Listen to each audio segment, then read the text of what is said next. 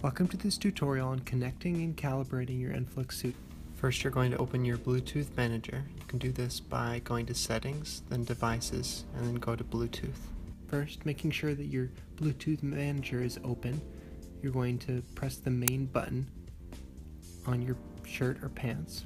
And then when that comes up, you're going to press pair. It's going to connect with the loading bar. And then next, after that connects, you're going to press the button on your other piece of clothing. When that comes up, you're going to do the same thing and pair it.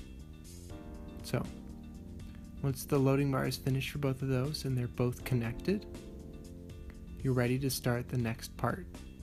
So, then you will move on to calibration.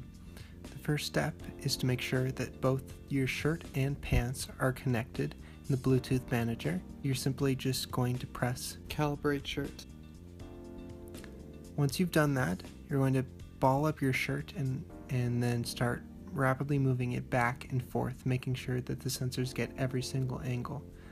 Calibrating shirt will come up on the screen as well, and it will tell you these same instructions. Um, and you'll make sure that it keeps going until it says finished calibration. And then after that, you'll do the same with the pants, picking them up, balling them, and then rotating them around as fast as you can in every direction to make sure that the calibration goes right and you'll simply just stop when it says finish calibration. Once you have that, your shirt and pants will be ready to go. Thank you for watching this tutorial.